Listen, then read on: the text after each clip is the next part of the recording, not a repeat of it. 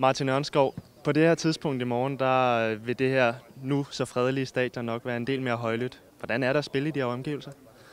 Åh, jeg glæder mig sindssygt meget. Det, det vi har set, det er, det er et inferno og, og tryk, som vi kommer under, så det, det bliver en fed oplevelse.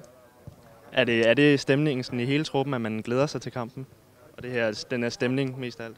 Det håber jeg, tror jeg. Øh, jeg kan i hvert fald ikke se, at øh, jamen selvfølgelig kommer de til at lægge øh, presser, øh, som det vi også vant fra derhjemme, at, øh, at når vi har vores fans bag os, så, så giver det tryk. Så der er ingen tvivl om, at de, de selvfølgelig er mere på deres side, men jeg synes, vi kan tage det som et boost til at, at kan modbevise dem. Så jeg er stensikker på, at folk de, øh, glæder sig sindssygt meget.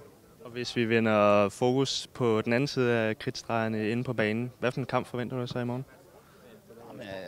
Der er ingen tvivl om, at øh, vi kommer her øh, for at skabe et, et, et, øh, et godt resultat. Øh, og med det, så, så, så ved jeg godt, at øh, vi går ikke herned og, og smadrer dem. Øh, vi håber på at, at få et, et godt udbaneresultat, som vi har en, en god mulighed på hjemme. Øh, og med det, det, det ved vi bliver svært. Øh, vi kommer nok til at forsvare en del. Øh, forhåbentlig ikke lige så meget, som vi gjorde nede i Kyberen. Det, det vil vi gerne væk fra. Øh, men, men en svær kamp, hvor, hvor, hvor der er mange ting, der skal gå den rigtige vej for, at vi får det resultat med, vi gerne vil have.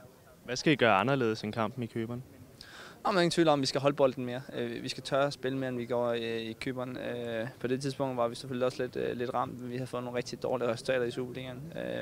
Nu synes jeg, at vi har steppet lidt op på mange parametre, og, og, og tror, der er mere selvtillid i holdet, end der var dernede. Dernede der fik vi det resultat, vi, vi gerne vil have, og den her gang der skal vi have det samme.